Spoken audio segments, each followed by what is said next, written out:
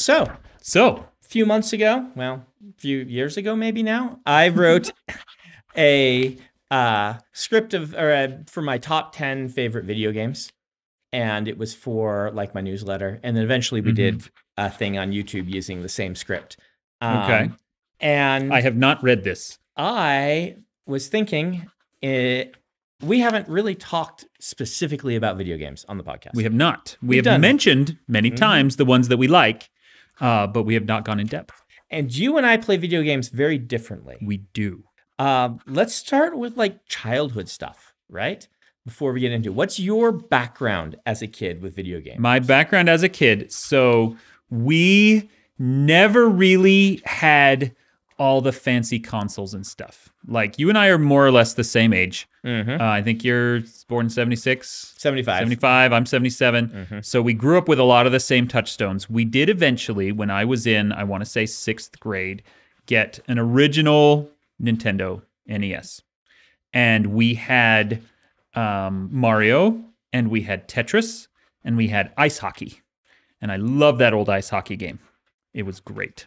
Uh, we did borrow from my friend who had the original NES, um, Final Fantasy six, Okay. which at the time was called Final Fantasy three or something. I is We played six. It's the one with Super Kefka. Nintendo. Well, no, Yeah. because we never had a Super Nintendo. it's a Super Nintendo game. well, maybe we also borrowed his Super Nintendo. yeah, because um because 6 is Super Nintendo. Okay, I, I guarantee it because seven is PlayStation, and I played all I played all the Final Fantasies that were released in the states, Mhm. which is only three of them. That's why six to us that's why Final six Fantasy was called three. Yeah, and I had to have a new Super Nintendo to play. in order to play it. Well, I must have borrowed the console as well as the Mhm. game and just devoured that game. I had never played the earlier stuff like uh, the original Legend of Zelda. Never, I've never played any Zelda game actually. Oh wow! Uh, but uh, Final Fantasy three, which is actually 6 Mhm. made me a huge Final Fantasy fan, and I've played a lot of uh, um, JRPGs since then. But that's kind of my original background. I also had non-console stuff. We had a very early PC, and we played all the time. Um, you know, kind of early PC games that old grognards in the audience might recognize, like uh, one called Montezuma's Revenge, which was this uh, kind of puzzle solving game where you have to jump over things and go on conveyor belts and stuff. Uh, we played Dig Dug and we played Beast. Beast was awesome. And I have found an emulator. Someone on Twitter pointed me to an emulator that'll play Beast. And it's basically just there's these monsters that are just the letter H because it was old ASCII graphics. And you could go around and you could push the terrain and you had to build traps and squish the beasts between terrain and uh, played the crap out of that game. I loved it. But that's my background, childhood Yeah. video gaming. So I um I actually started a little earlier than you, not just because I'm a little older, uh, but we had an original Atari Mm, and then a mhm. 2600 and then a Nintendo. Okay. Uh, the Nintendo has a fun story because the Nintendo. Uh, I've told this story before on my st- live stream, so I apologize for those who have heard it. But I, when I was 11 years old, got a chance to come visit my uncle in Salt Lake. I grew up in Nebraska. Yeah. This was my first time flying on a plane by myself. Ooh. I had gone before, you know, with my family, but flying by myself, going to stay with my uncle for a week in far off Salt Lake City. Um, get to know my cousins. They're older than I am, but uh, I had never really gotten to know them. And uh, it's just a wonderful experience. Yeah. Like I remember, I remember almost every detail of it, which I can remember nothing else of my life at that time. But I remember my uncle picking me up and having secretly switched his car from miles per hour to kilometers per hour because his car would do that and it had a digital display. and then driving on the freeway and pointing at how fast we were going and being like, "Whoa, this uncle is so cool." Um, I remember my cousins who were into those kind of little rockets that you launch with the actual um, the the little kind of firecracker motors Yes. or fuel things you Yep. put in them. Yeah. um, that were like, you know, they'd shoot them up and they'd parachute down, and we did those a bunch. Um, I remember my uncle worked at the university and he took me and showed me their fossil collection, like at the University of Utah, some of the cool ones just behind the scenes Mhm. and stuff like that. Um, and my father, before I left, had handed me $200 and Oh. said, Your job is to buy your own food. And to make sure that your uncle doesn't have to take care of you too much in that regard. Take everyone out to eat and things. And every time, of course, I tried to pay, my uncle refused. Um, and at the end, when it was time to go home, I had this like handful of the $200 and I tried to just give it to him and be like, here, take it. And he's like, nope, not going to take it. And I said, if I take it home, I I'll give it back to my dad. And he's like, no, you're not going to do that, kid. and he drugged me to the KB toy store Uh-huh. and he said, you spend that $200 so it doesn't go back in your dad's pocket. And I bought a Nintendo. Um, nice. One big purchase rather than split, splitting it up. It was very hard for me to decide, but I bought a Nintendo. Yeah. And uh, that story has lived with me ever since. That is fantastic. In the same situation at that same age, I almost certainly would have spent it on action figures Mm. because that's who, that's what I collected as a kid. So I had, um, and the Nintendo was far more foundational to me than the the Ataris were. Mm-hmm. Um, partially because I was younger with them, partially because the games were just so much better, right? Yeah. Like I got original Legend of Zelda for my birthday, uh, the Christmas it came out. The hot item, the gold box, really hard to get. Mhm. I played original Final Fantasy. I played um, uh, Dragon Quest One, which was like called Dragon Warrior, um, which was I the remember Dragon yeah. Warrior. RPG I ever played. Um, and so that Nintendo was very, very influential uh, on me, though the Super Nintendo games were just so much better, Mm. even than those original Nintendo games. Uh, like the Super Nintendo games, I can go back and play on an emulator and really enjoy. Mm-hmm. Uh, I went and played Super Mario World on that. If I go back to original Super Mario Brothers, I know it's heresy to say, but it's kind of the Snow White uh, of video games for me, where it's like, wow, I can appreciate what you did, um, but I am not interested in playing this game that much longer. Mm-hmm. Um, that upgrade from the 8-bit to the 16-bit generation, Oh, yeah. going from Final Fantasy One, which is a fine game, to Final Fantasy Three with a full epic storyline, and as opposed to you know Yeah. just random generic characters with no names, and that he was a huge, huge deal for me. Yeah, that was that was such a game changer for me as well. Mm-hmm. Uh, that original game, and uh, you know that is honestly the last console I ever owned was that original Nintendo. Really? Uh, I have purchased for my children. Mhm. We had a Wii U, yeah. and uh, right now we've got an Xbox and a Switch. But those are all my kids, and I don't really play them. Huh. Although now that I have a Switch in the house, I am super tempted to pick up uh, Fire Emblem or Triangle Strategy or something like that because Yeah. I've got a thing on which to play it, and that's the only platform you can get it on. More than anything else, I've always just been a PC gamer, and that started. Uh, you know, not so much with the original Beast and things like that, but when I got to college and was rooming with Ben, and he said, we should play Warcraft. And I'm like, what is Warcraft? And he said, let me open your eyes to the world. And we just fell as far down that hole as possible, playing Dune and Warcraft and uh, Command and Conquer and the original Diablo. And then Diablo 2 came out a couple years after that. And uh, oh man, we played so much Diablo 2. I played it with you. I played it Yeah. with uh, that game. I bet if you just look at a time sync of game hours that I've put into games, Diablo 2 is pretty high on my list. mhm. Uh, I would be surprised if it's not number two uh, behind Civilization. yeah, Diablo 2 was what, 99?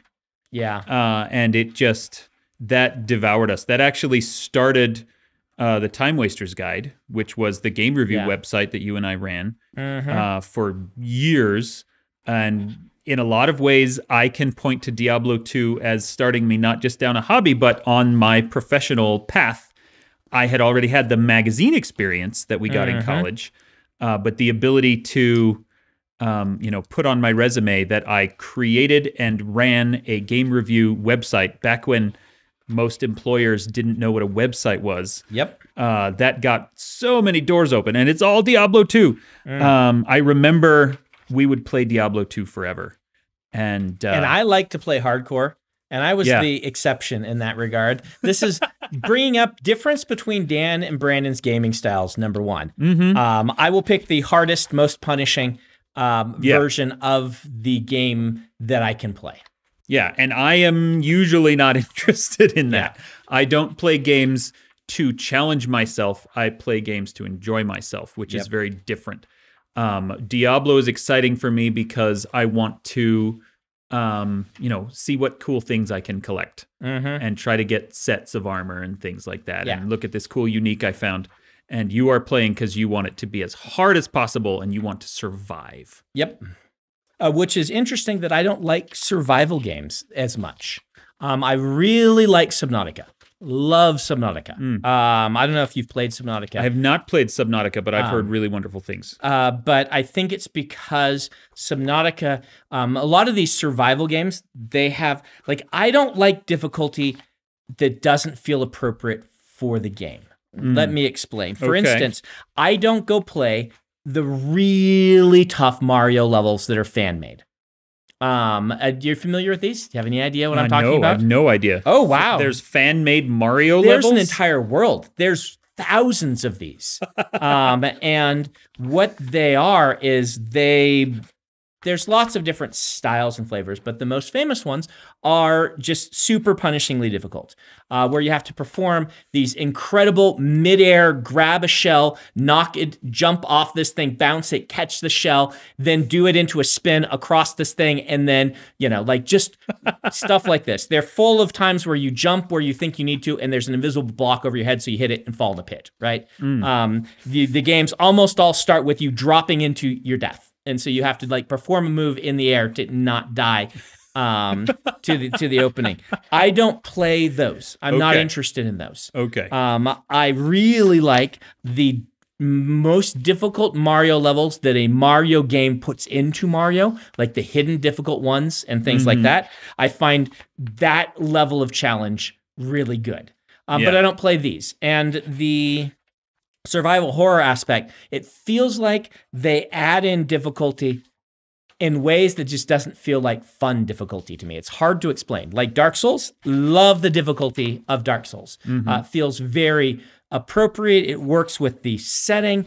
It um, it's punishing and difficult, but not unfair most of the time.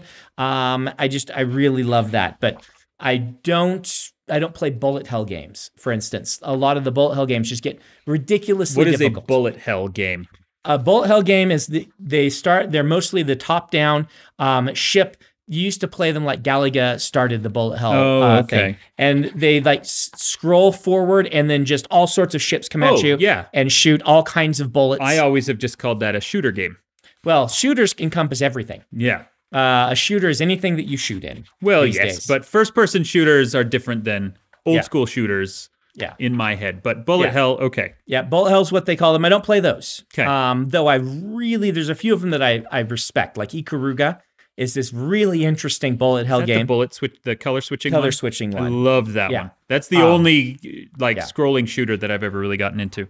Um, and so I like difficulty, but it has to have the right flavor of difficulty for me. Mhm. But I mean, one of my very first gaming experiences um, that was also very foundational was original Wolfenstein, Escape from Castle Wolfenstein on the PC, um, which I loved. And I had too much time because I was a teenager, and I built it with the starting weapon, right? Yeah. Um, and then I built beat Doom with only the chainsaw, right? Like these are things that I used to do as a kid to find the difficulty that I Mhm. wanted in the games. to make it as hard as possible. Mhm. Um, yeah, I remember being in college and uh, you know starting to do game reviews, and I was sent by uh, some game company, Serious Sam, Oh yeah, and I remember just devouring that. And I came into you know the magazine one day and said. You know, it's too bad that I'm the only one here who likes shooters because you should all love this. And you were like, wait, what? Mm. And I had no idea at the time that you played, you know, first person shooters. Serious Sam And is amazing. I got to introduce you to Serious Sam, Yeah. which was still one of my very favorites. Um, I've spent more time running backwards Mhm. shooting in that game than I think in all other shooters combined. Serious Sam is what Duke Nukem should have been. Mm-hmm. Um, but um, yeah, I I think another big difference between us in our gaming styles is I want a game to be a puzzle I figure out. Mm-hmm. Uh, the difficulty being a puzzle I figure out. I do not want to be figuring out other people, which means that I am not very interested in Warcraft. Um, Mm. I'll play the single player campaign, really fun. StarCraft, Yeah. same way, because I want to figure out the game and how it works. And I do, and I want it to end. Those are kind of two of my impulses here. So I don't play any games that I'm playing against another person. Uh, just doesn't interest me. Mhm. Um, I don't even play the Magic the Gathering online ga- one. yeah. Um, I am interested in here's this game. Can I figure out how this game works? Can I figure out how to beat this game? Can I figure out how to beat the difficulty level of this game? Is a puzzle for me to unlock. And other players is a just different feeling entirely. And I know one of your favorite games is Overwatch. Uh, I love. I I am really into esports, Mhm. and so like figuring out the minutia of a game system, in contrast to you, does not interest me. Uh, I've been trying to find fun RPGs I can play on my phone, and most of them are just so complex that I lose interest. Uh, The Hmm. one that I found and played a lot, you know, last week, and I'm like, oh, maybe this is gonna scratch the itch for me. Um, but then it turned out that you not only had to level yourself up, you had to level up your equipment, which turned that into a whole mini game of resource management and what am I going to want and what am I going to be using. And I'm like, that is not interesting to me. Whereas esports are very interesting to me. Um, and it took me a while to get into them. League of Legends was the first one uh, that I really played. Well, I take that back. I played a ton of Counter Strike um, way back in the day but Counter Strike is very much just a team game. Uh, with League of Legends, when that one came out, it was the first time I saw a a video game that where you played positions, you know, in a sports sense, Right. Uh, that Which is know, really cool. it's very cool. And at first, I couldn't get my head around it, and I'm like, "That's dumb. I just want to, you know, play Warcraft three. I want to march out and kill monsters." And once I once it clicked in my head that like, no, these are sports positions, just like you have a quarterback or a you know a running back or a whatever.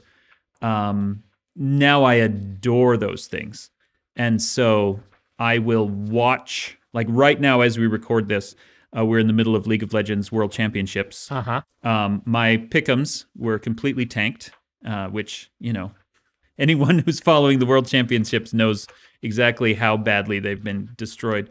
Um, but I love that kind of stuff. I love to watch them. I am very bad at playing them, but that is most of what I play these days: Overwatch, League of Legends, that sort of stuff. That's awesome.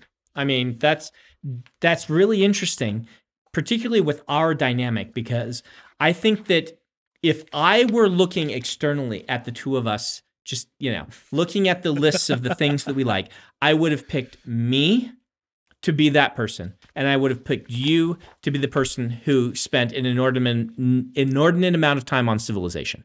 Mm. Um, that's because uh, you love board games, I do, I and And I do play a lot of Civ 6, Mm-hmm. not as much anymore. Uh, that's the game that I will, you know, break out once a year, whatever current iteration of Civ, and I will play it exhaustively for about a week, and then I'll be Mm-hmm. done. And I'm like, okay, I'm fine with this. Uh, but yeah, it makes sense that uh, you would expect me to be the game mechanic guy. Yeah. And it's not as interesting to me. And I think, you know, the same thing happened to me with the Final Fantasy series, which in the beginning was, you know, you level up and then you get access to a new power or a new spell or something like that. And then you get into, you know, Final Fantasy X with its gargantuan like sphere, and you'd have to work your way through the most complicated tech tree I had ever seen before in my, my life. My favorite Final Fantasy. It's a very good Mm-hmm. story. That aspect of it isn't as interesting to me. That's one of the reasons that I love Diablo 3, which a lot of people don't like, Mm-hmm. is because it lets you reallocate your skill points I think pretty much at will. just a boon that every game should have. Yeah. Uh, it, it plays to what both of us want. You want to have fun hmm and you know try screw things. I want to min max and figure out the best uh, thing on my own without having to look it up. Yeah. Um, and both of us are served by just letting us respec our characters to figure out what the best spec is for what we want to do. Yeah. Uh, so that's that's a thing. Let, let me ask you this. Um, maybe this is something we're similar on, maybe not. Uh, you were saying you were looking for good RPG. I have a lot of trouble with the turn-based RPG mechanics these days. In that I just do not have the patience for the kind of classic I will go out and slay slimes until I'm level two. Go back, buy a better sword to slay better slimes. Go out and slay more slimes. And you know that was my bread and butter when I was a teenager. I Yeah. loved that kind of incremental progress that you'd make by slaying slimes and things like that until you're, you know, this this awesome character that can take on the the world. Just not interested. Every time I try to play them, even the Final Fantasies, Mhm. I bounce off of. Um, uh, because these days I just want to get into a game, figure and try to figure out how the game works and enjoy it. This is why I really loved the new Doom, Doom Eternal, and Yeah. uh, Doom 2016, Mhm. um, because they don't hold your hand too much. They give you a nice thing, and then they throw you in. You're like, all right, now you're gonna play this game. It's why Breath of the Wild is my favorite uh, Zelda game because most Zelda games, still very fun, are this sort of unlock, get a new power, move on. They they do this Mhm. sort of little bit of Metroidvania sort of thing where it's like you'll open up new parts of the map. The Breath of the Wild is just like, all right, here's your tutorial. Here are all of your powers. That's all you're gonna have the whole game.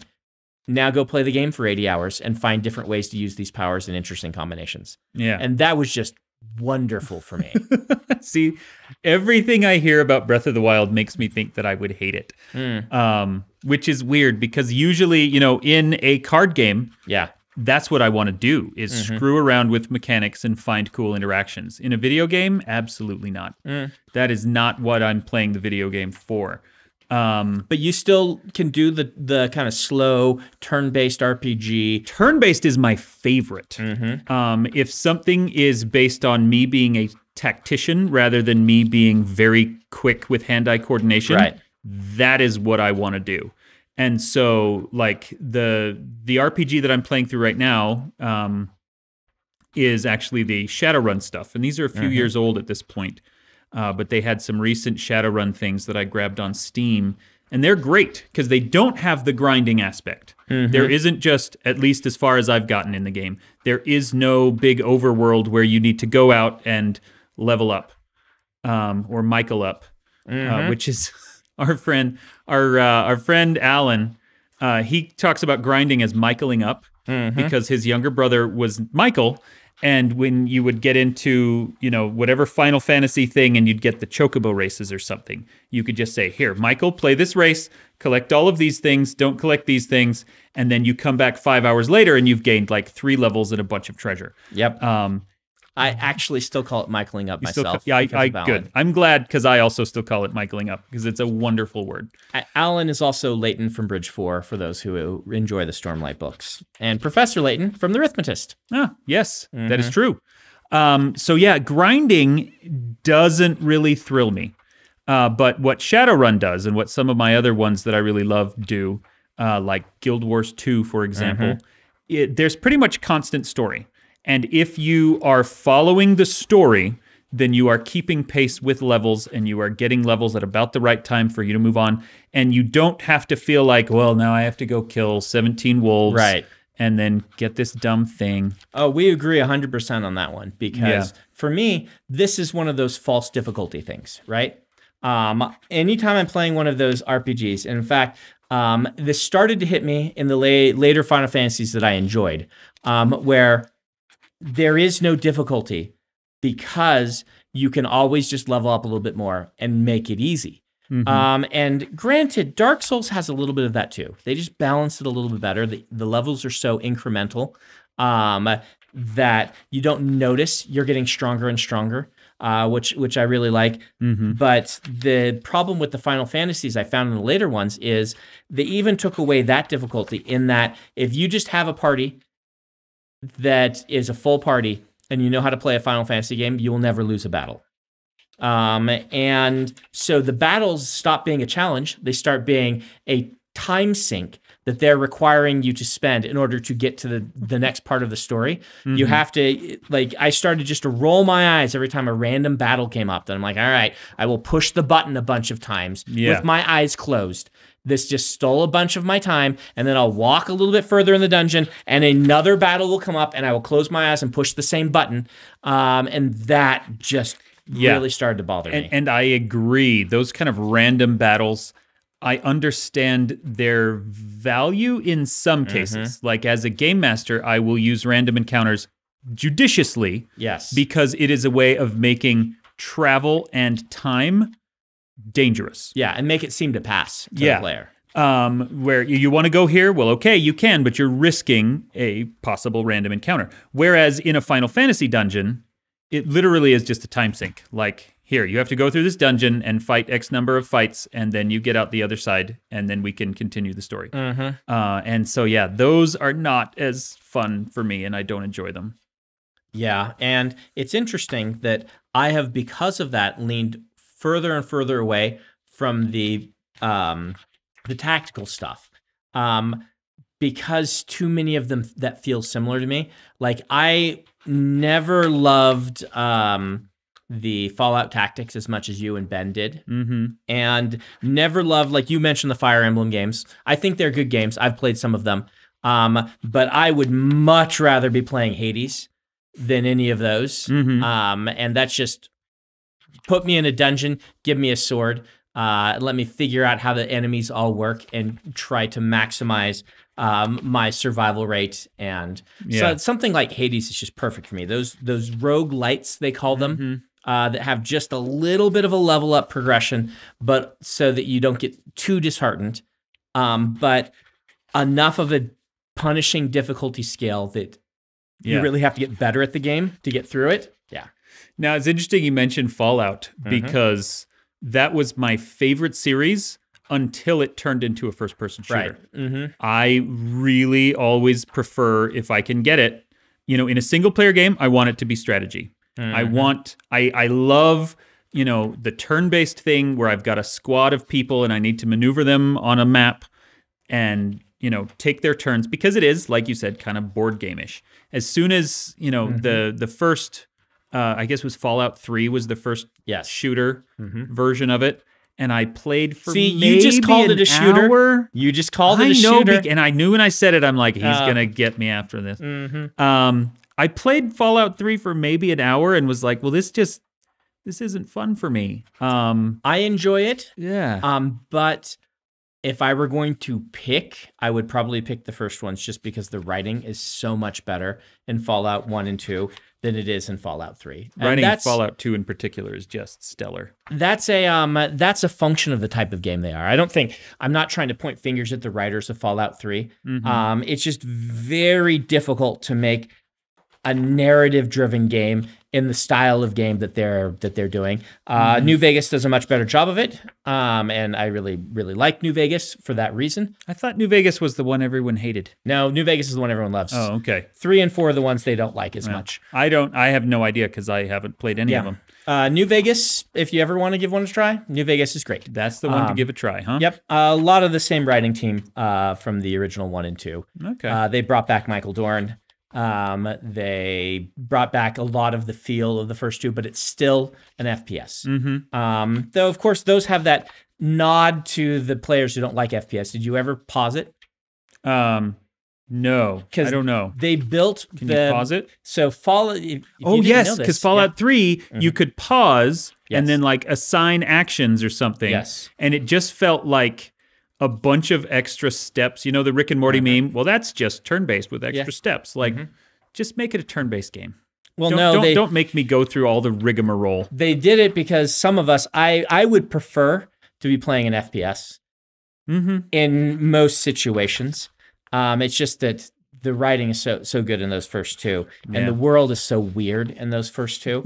um, when you're doing sprites and when um, you aren't voicing all of your dialogue, you are able to write cooler, weirder dialogue trees and have Yeah. a more interesting, weirder world. Because polygons and rendering just you have to spend a lot more time making your assets. And if you're going to fully voice your game, then you can't have as many dialogue trees. And you Mhm. certainly can't have the weird ones that you could in Yeah. Fallout uh, 2, you know, kicker, you could be like, all right, we're going to spend a week uh, in the writing team and just kick out something real weird for people who put a one in intelligence. Yeah. Um, and just all the super weird yeah. stuff and the minor side characters Mhm. where you could have this gargantuan conversation. Yes. And they're not going to voice that for Yeah. a, a Fallout 3. So, since we're talking about single player shooters, Um, did you play Borderlands? Did Because Love Borderlands, is one. Howard tried to get me into Borderlands 2. And again, the same experience, like these kind of single player shooters, I just can't Man, get into it all. I hated Borderlands 2 more than probably any Wow. other game I've ever played. that's really weird. It is really weird. Why would you hate that so much? It's the Borderlands with good writing. I don't know. I didn't even experience enough of the writing. Um, Mm-hmm. I was trying to play this character, and first of all, uh, the bad guys in it were bullet sponges, which Yes. is not something I really love. I would Um, agree with you on that. Uh, Fallout 2 was particularly bad on that one. They, Hmm. Fallout 3? or not Fallout, sorry, uh, Borderlands 2. Borderlands 2? Borderlands 2 was the bullet sponge one. Had the good writing and the worst bullet sponging, and they had to figure out a better balance um, of that. Um, but all of the games, enemies are bullet sponges. Yeah. Um, you shoot them until they fall over. And um, but the Borderlands games are not fully uh, enjoyable by yourself. Really? Uh, Borderlands uh, are meant to like I played Borderlands the, the mo- most recent one. I guess it's Borderlands three. Played that with my kids, right? Um, and when you're in a team together, uh, playing and things like that, it's just it's more fun of a game because it's it's the same reason that playing an MMO by yourself is just not as much fun as having your team and going out Yeah. together because the mechanics of Borderlands are not, you know, it's not like we're playing something like Doom Eternal, which is just really an innovation, innovative use of the first person shooter, really interesting, really well designed, beautiful arenas to fight in that just, um, um, and things like that. It's not that. It's instead, here's a pretty standard uh, shooter with some interesting level up mechanics borrowed from Diablo okay. and a looter system borrowed from Diablo that you can play with your friends and see what cool guns drop. You know, the the mm-hmm. gun gun is the best example of Borderlands, right? It's a gun that shoots guns. oh, Um, I never got far enough into the game to see a gun that shot guns. That's kind of cool. plenty of weird guns that do like um, you know Borderlands 3 there is a uh, a gun that when you reload it instead you drop the gun it grows legs and a brain and follows you around and shoots people for 30 seconds um, there are guns that uh, when you run out of bullets turn into a grenade and you throw the empty gun and it explodes Oh, that's cool. The the whole idea of randomized generation of weird gun mechanics that you Mm-hmm. can just find on guns is really fun. That is cool. Now, Mm-hmm. the thing about Borderlands and about all of these others, Breath of the Wild, Mm-hmm. um, that confuses me about my own proclivities. Yeah. Is Overwatch I love Mm-hmm. because it's not just shooting, there's also powers. Yes. The fact that I had to learn a bunch of extra powers was the thing I hated most about Borderlands. Like, just let me shoot people. Why are you making me do this dumb teleportation thing or whatever other nonsense? And I don't know why that, That is- works for me in the esport.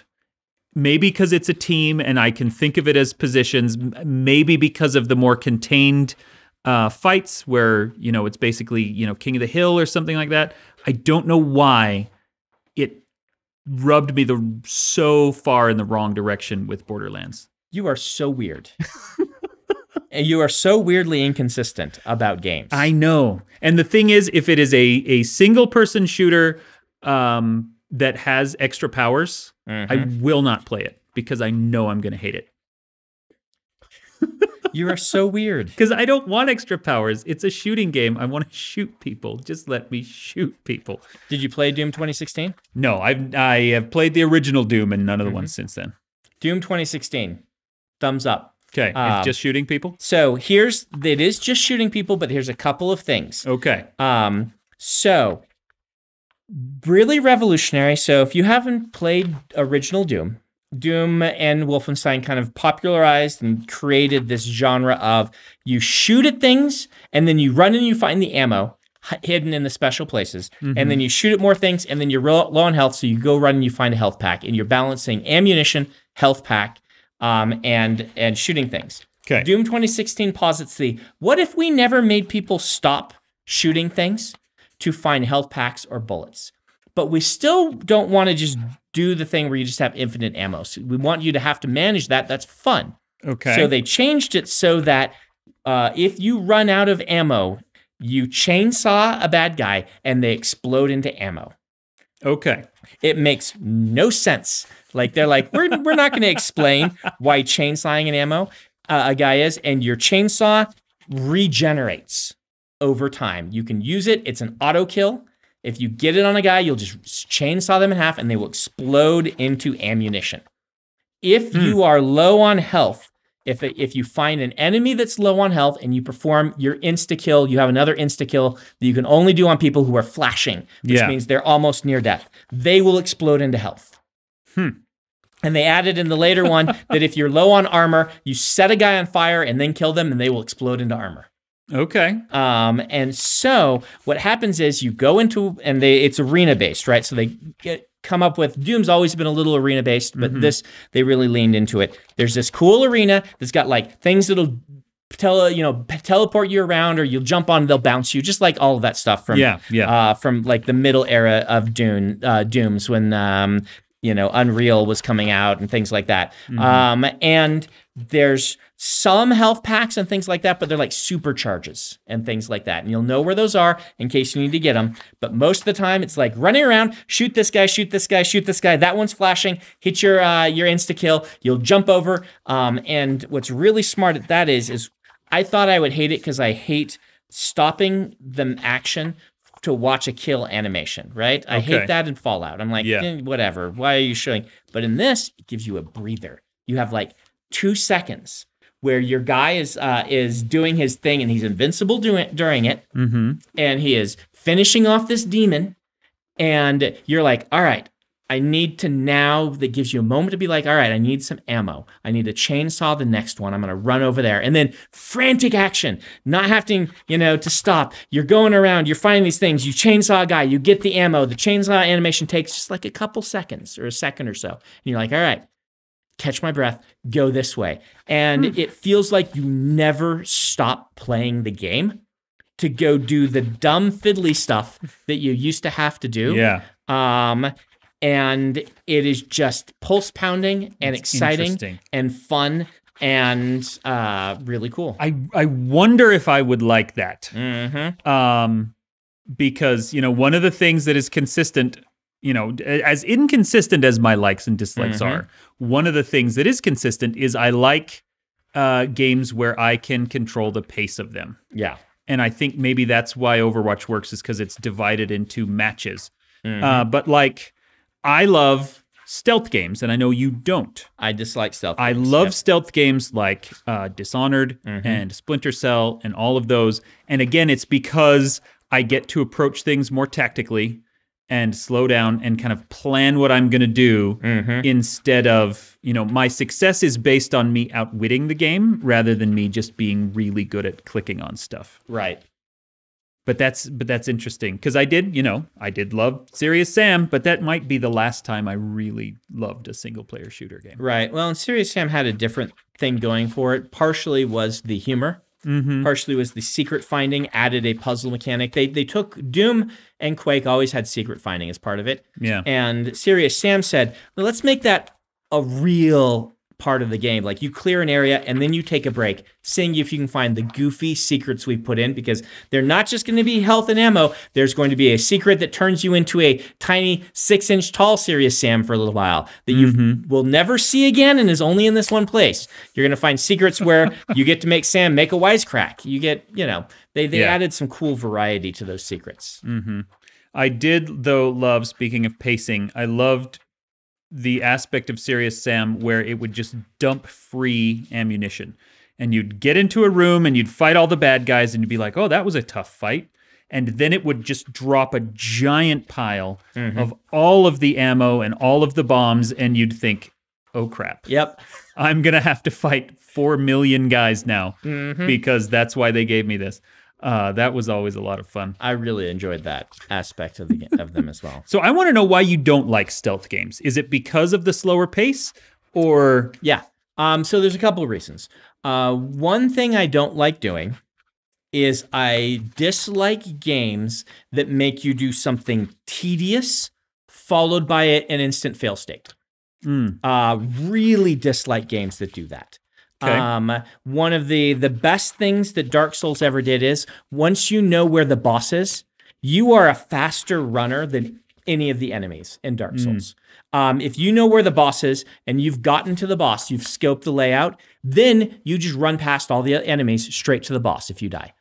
Um, they don't always give you a save point right before the boss, but even if they don't, it's a it's a matter of you know 15 seconds or a little bit longer of running through the level and going to the boss. What I hate is these stealth games. A lot of them are tedium, slow tedium. I know how to beat this level. I know how to do it. Oh, I got spotted by this random person turning around at this, and then I'm back to the start, and it was Mhm. it was just excruciating to get there. It's Yeah. the sort of fake difficulty to me, Yeah. right? This idea of um, we're going to make you and I, I. A lot of games do this, and it really bothers me. Is that they they use tedium as a substitution for difficulty, and I don't. I won't say the good stealth games do this. A lot Yeah. of great stealth games don't. Mhm. Um, but across all games, if I have to do something stupid repeatedly that I know I can beat, then I get annoyed. There's a there's a dungeon in the new Zelda that I really I, I really like the new Zelda, right? okay. Um, but there's a dungeon that is your um, you know, how deep can you go? How far can you get? And I really dislike in most games this um, infinite levels uh, sort of dungeons and things like that because what it means is the first 10 are tedious Mm-hmm. The next couple are actually fun and then you hit one that is really hard that you haven't done before and you die and that one would be fun if you could restart and figure it out but instead you've got 10 tedious levels to beat before, it gets you fun get back again into that one. um, and stealth games in my experience are that game just Yeah. repeatedly Um, you're not wrong. Uh, and that actually uh, ties into what you were talking about with the kind of fan made Mario levels, Mm-hmm. where the way to get through it is to play it 400 times to learn the exact combo of Right. how to get past this one weird challenge. Mm-hmm. Uh, the stealth games that I really like, uh, Splinter Cell Blacklist is my favorite of that series, and it is most people don't like that one because um, you can play it stealth or you can play it in other ways. And what that means is that if you're going for pure stealth because you want to get the achievements, then there is an instant fail state because you've been spotted. But every mission starts out as a stealth mission and you can just if you get spotted you're like well screw this. I guess we're just going noisy now. And you can play the rest of it noisy. Yeah There's deus ex is like that. Yeah. Mm-hmm. uh, dishonored does that as well. Does it? Uh, and dishonored is one that's really good Well, I mean, we talked about the Fallout games. Uh, I know you've said you didn't like them, but three, New Vegas, and four, I would often play a sniper, which is a stealth version. Uh, Same thing in Skyrim and things. It depends on my playthrough, right? yeah Um, but I don't find that nearly as tedious because um, the the situations are randomized to the point that you can just approach from a different direction. You can try something new, and if you get spotted, if it doesn't work out, you can move to full on. I'm just going to try to fight my way out of this, Yeah. and a lot of times you can do it. hmm Not always, um, but if you can't, it's probably because you're in a harder level that, or area than you should be, which I like to do a lot, and it's my own dumb fault, right? yes oh man you know i did try to play a sniper in borderlands mm-hmm. and that's another thing that i didn't like about it at all because you know i lined up this perfect shot headshot this dude and no it takes like three bullets to put that guy down and then he catches up to you because he can run really fast and then you're not a sniper anymore which is why i was playing the game so Well, and you don't like the powers. Like I, I, I played the sniper character in this new one, didn't I? I think I did. Um, I played. Oh, the new one doesn't make you choose guns the same way the early ones did. Uh, so you can kind of roll any character, but um, the you know one of the characters that I really like, the new one, has a doppelganger. You summon him, all the bad guys attack him. So Oh. you summon your doppelganger. You have 60 seconds or whatever of the doppelganger. Your character yells something funny. Because he's the fun. They're all funny characters, but he's a funny character. He's like, "Oh, there's the real one. Get him!" And then you fall back, you pull out your sniper rifle, and as they're attacking him, you Mhm. shoot them one at a time. Um, and in this one, the little guys almost all go down with one shot.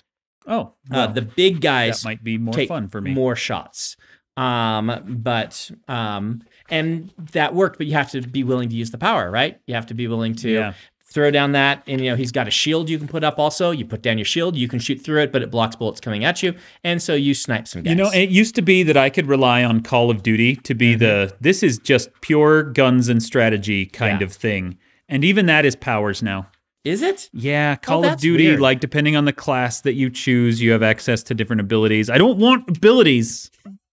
I just want to shoot people. How's that, Ben?